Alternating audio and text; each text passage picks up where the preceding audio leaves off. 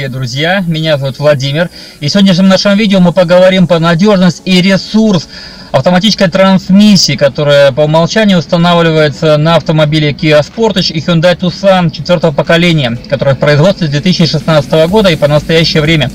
Поговорим про, скажем так, обслуживание, про основные плюсы и минусы э, этого узла, ну и вообще, скажем так, каков э, ресурс, какой срок службы этого агрегата, сколько он способен пройти до серьезной поломки или ремонта. Итак, поехали. Итак, сегодня мы будем с вами разбирать, э, скажем так, кратко технические характеристики, надежность, срок службы, основные неисправности, поломки и как правильно надо обслуживать вообще автомат на примере э, трансмиссии с маркировкой A6LF2, которая устанавливается на Kia Sportage и Tucson четвертого поколения. Ну, Hyundai Tucson, понятное дело.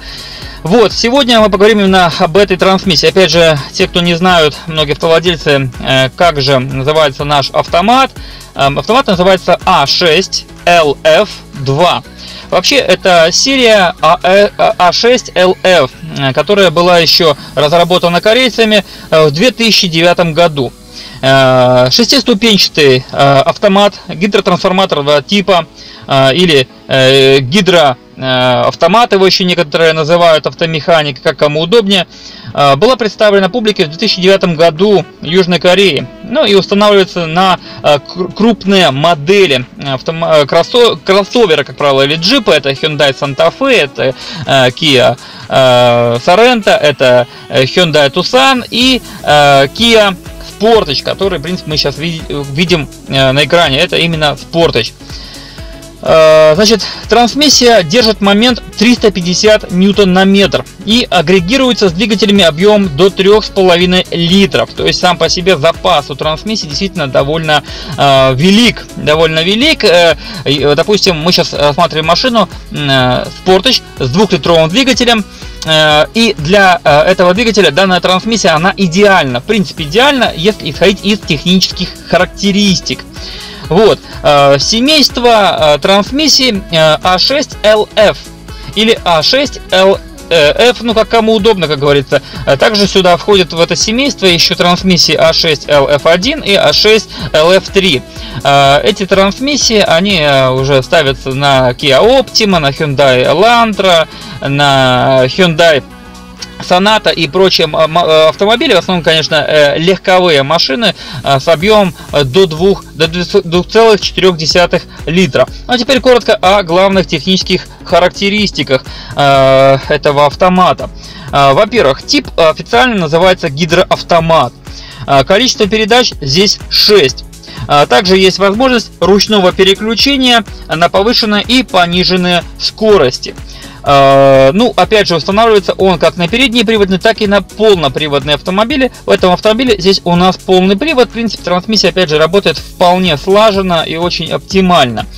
А, крутящий момент максимальный, который выдерживает эта трансмиссия, в одних э, документ, документах, которые я нашел официальных э, компаний Hyundai и Kia, э, составляет 380 ньютон на метр. Но автомеханики же и специалисты по обслуживанию и ремонту автомобилей утверждают, что все-таки здесь максимальный крутящий момент эта трансмиссия выдерживает до 340-350 ньютон на метр. Лучше, как говорится, не рисковать. Какое масло лить в эту трансмиссию? Довольно много вопросов не приходит именно по этой теме. Скажу сразу, масло заливается ATF SP4. Uh, то есть uh, идет группа 4, SP4, ну, конечно, ATF. Это даже, наверное, сложно назвать маслом, правильная аббревиатура uh, вообще жидкости, а именно трансмиссионное масло, ну, а лучше, конечно, жидкость, трансмиссионная жидкость ATF. Объем смазки, который необходим именно для функционирования этой системы составляет 7,8 литра. Для замены, необход... для замены необходимо 9 литров, желательно 9 литров трансмиссионной жидкости. Замена масла осуществляется один раз в 75 тысяч после первой замены. Первая замена осуществляется на 90 тысяч километров пробега, то есть на шестом ТО. Если машина новая, то она меняется на шестом ТО у дилера. А, далее 75 тысяч каждый мы должны это скажем так, заново делать. А, примерный ресурс, который заложен производителем, составляет 300-350 тысяч километров пробега. Исходя из официальных, э, скажем так, мнений большинства автомехаников и автовладельцев, э, реальный пробег составляет не более где-то 280 тысяч километров. Опять же, при должной эксплуатации, обслуживании, э, ну и, конечно же, качестве горюче-смазочных материалов. Передаточные числа автомата a6LF2. А, если брать, например, а, Kia Sport четвертого поколения, то а, главная передача здесь составляет 3,64. Первая передача 4,63, вторая 2,82, третья 1,84, четвертая наступает на 1,38, пятая ровно единица и шестая 0,77. Задняя передача здесь обладает параметром в 3,38 пункта. А, также хочется сказать аналогичной или похожей трансмиссии данного типа. А, это Hyundai Kia A6MF2, Aisin TF61SN, я думаю, многие слышали про нее, General Motors или GM6T50, Ford 6F35, Jatka GF 613E, Mazda FW6AEL, а, также ZF 6 HP19 и Peugeot AT6. Это, в принципе, аналогичные коробки передач, аналогичные э, вот данной трансмиссии, которую мы э, обозреваем. А, так, теперь, наверное, давайте поговорим о том, на какие автомобили ставится коробка, коробка A6 LF2. Ну, во-первых, Hyundai. Hyundai Grander с 2009 по 2011 годы. Э, Hyundai Tucson 2009 по 2015 год, это прошлое поколение. Hyundai Tucson TL э, шло для американского рынка и идет э, с 2015 года по настоящее время. Также Sonata. Sonata с 2009 по 2014 годы и Sonata LF с 2014 по настоящее время. А, Kia Sorento с 2009 по 2016 прошлое поколение. А, далее Sorento UM версия с 2014 по настоящее время. Sportage третьего поколения и Sportage четвертого поколения, а также Kia Carens и Kia Optima.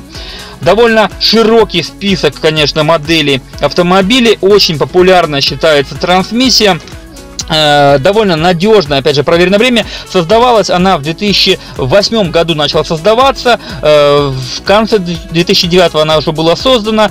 Э, создавалась совместно с немецким концерном VAG. Э, это просто для справки, кому интересно. Э, создавалась она с, э, с ваговцами, делалась она, в принципе, по аналогии, я думаю, многие, кто владеет автомобильными или владел теми же Volkswagen или Шкода, очень даже внешне чем-то похожа сама система, делалась она по, по аналогии под немцев. Здесь уже корейцы решили не копировать японцев, а пошли уже путем через Европу, через немцев.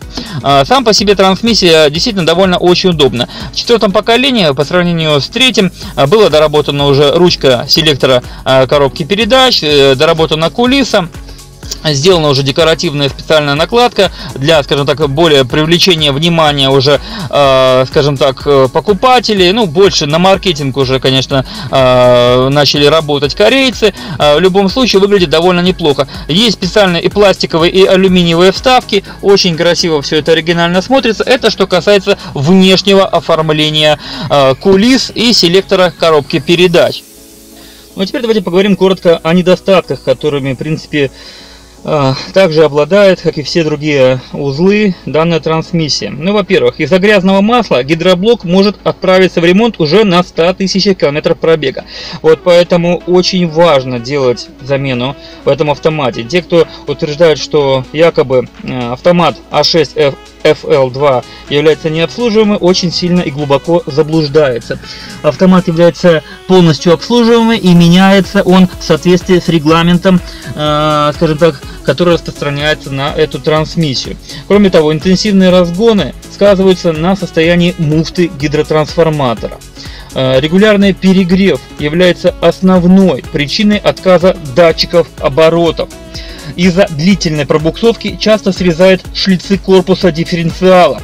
И это довольно распространенная проблема. Возникает она уже на пробеге примерно в 120-130 тысяч километров. Это опять же, если не соблюдать, соблюдать правила эксплуатации автомобиля. Ну и кроме того, хрупкий пластиковый поддон, который нередко пробивает во время езды по пересеченке. Поэтому очень важно покупать специальную стальную защиту сразу же, когда покупаете новый автомобиль или поддержанный, и защиты стальной нету, желательно сразу покупать лист стальной защиты. Здесь в автомобиле защита стоит стальная, Здесь специально установлена стальная защита, большой лист нержавеющей стали, э, причем э, примерно толщина около э, 7 миллиметров, дополнительно идет поверх пластиковой защиты. Э, довольно сильно э, и надежно защищает он не только автомат, но и э, поддон э, картера э, двигателя. А теперь, что касается Э, скажем так, ремонта или э, капитального ремонта или выхода из строя трансмиссии А6 э, FL2. Дело в том, что посмотрел я примерно цены на эту трансмиссию, скажем так, и составил для себя три вида цен. Это минимальная стоимость, средняя и э, максимальная. Э, дело в том, что минимальная стоимость это примерно за трансмиссии с пробегом э, уже в более 120 тысяч километров, километров и более. Э, стоимость трансмиссии такой контрактной, так сказать, бэушной, поддержанной, э, стоит в районе 850-900 долларов США. Что касается э, пробега уже до 100 тысяч, то э, такая трансмиссия на рынке стоит около э, 1000 1400 долларов. Это у нас в Минске, в Беларуси, в принципе, цены аналогичные в России примерно и в Казахстане. Ну и уже с пробегом до 40 тысяч километров трансмиссия такого типа э, стоит в районе 1800-2000 долларов США. Опять же, э, все упирается э, в пробег. Чем меньше пробег у, э, чем меньше пробежала трансмиссия, тем, конечно же, она будет стоить дороже. В любом случае, опять же, ресурс довольно большой у этой трансмиссии. Э, не говоря про, к сожалению, бензиновый двигатель с маркировкой G4NA, э, который вы можете видеть на экране. Именно, как правило, э, с такой э, установкой компонуется эта трансмиссия на автомобилях Kia Sportage и Tucson двухлитровые бензины, двухлитровые бензиновые двигатели. Поэтому, к сожалению, двигатель иногда даже меньше имеет ресурс, чем трансмиссия. Довольно редкий случай, но это факт. Вот, поэтому, в принципе, основных проблем э, как таковой с трансмиссией нет. Трансмиссия проверенная временем. Э, течи, самое интересное, что течи э, могут возникать, но на пробеге уже к 200 тысяч километров. Если вы покупаете поддержанный автомобиль, э, допустим, Kia Sportage или Hyundai Tucson, то первым делом, что необходимо делать, это, конечно же, компьютерная диагностика двигателя и трансмиссии. Обязательно, обязательно, потому что не факт, что там менялось масло. Дело в том, что любой э, продавец, э, он заинтересован вам реализовать э, автомобиль, как говорится, ему выгоднее быстрее спихнуть его, и он может вам говорить, что масло менялось, все обслуживалось, но по факту, скажем так, масло там, возможно, ни разу не менялось. И в этом плане, конечно, автомат очень, э, ну, очень требовательный, очень требовательный именно к замене, э, э, к регламентной замене и к качеству, качеству горюче-смазочных материалов. Поэтому в любом случае э, первым делом делайте диагностику, диагностику трансмиссии. И после этого уже принимайте решение, покупать вам такой автомобиль или нет. В любом случае, э, при должном обслуживании и эксплуатации трансмиссия пройдет больше, чем двухлитровый бензин, бензиновый мотор, Примерно в районе 250 тысяч эта трансмиссия однозначно отходит до капитального ремонта. Ну и в заключение нашего небольшого видео касательно надежности срока службы э, трансмиссии автомат с маркировкой A6FL2, которая устанавливается на большинство э, кроссоверов, современных корейских кроссоверов э, Hyundai и Kia. Хотел бы, конечно, э, отметить, что э, в принципе, э, исходя из своего личного мнения, э, в работе этот автомат очень мягкий. Переключение происходит э, настолько слажено и сглажено. Самое главное, что э, порой даже кажется, что это вариатор. Э, бесступенчатый вариатор, как вы знаете, там э, при работе этой системы э, переключение происходит, э, говорится, без толчков, без каких-то рывков. Так, в принципе, происходит и здесь. Утверждают большинство э, владельцев такого автомобиля, что даже э, после пробега в 60-70 тысяч километров э, не обнаруживается ни толчков, ни рывков при, при, при переключении, при работе э, гидротрансформатора трансформаторного типа вот этой трансмиссии.